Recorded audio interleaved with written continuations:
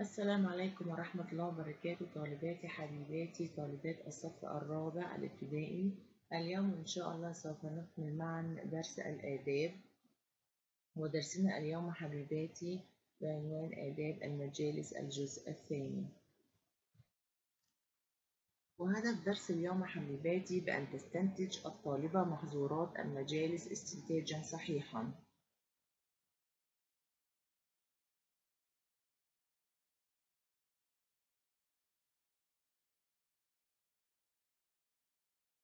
أمامكن حبيباتي مجموعة من الصور أريد منكن حبيباتي بأن تستنتجي محظورات المجالس الصورة الأولى ماذا تستنتجي منها؟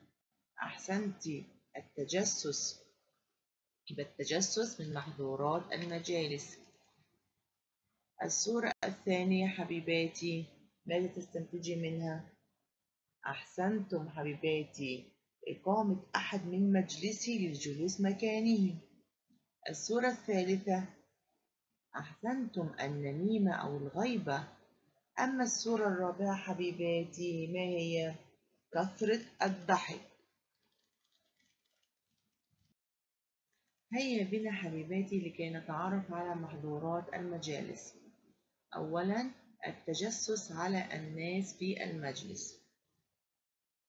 من محظورات المجالس أيضا إقامة أحد من مجلسه للجلوس مكانه. ثالثا ارتكاب المنهيات في المجلس.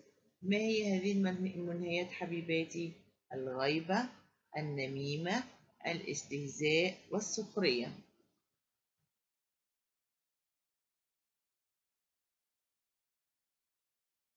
هيا بنا حبيباتي لكي نجاوب معا على هذا السؤال.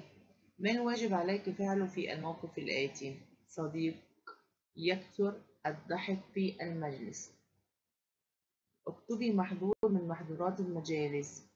على هذا الموقف أحسنت عدم الضحك في المجالس. والآن حبيباتي على كل طالبة أن تقوم بفتح الكتاب المدرسي صفحة 132 لكي نجاوب معنا على السؤال الثالث.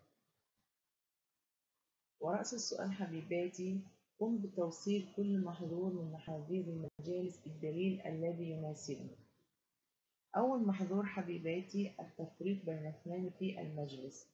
ما الدليل على ذلك؟ أحسنتم حبيباتي قال رسول الله صلى الله عليه وسلم لا يحل لرجل أن يفرق بين اثنين إلا بإذنهما. المحظور الثاني التجسس على الناس في المجلس. ما الدليل حبيباتي أحسنتم قال الله عز وجل ولا تجسسوا. المحظور الثالث كثرة الضحك. ما الدليل على ذلك حبيباتي. أحسنتم قال رسول الله صلى الله عليه وسلم كثرة الضحك تميت القلب. المحظور الرابع إقامة أحد من مجلسه للجلوس مكانه. ما الدليل على ذلك حبيباتي؟ أحسنتم حبيباتي.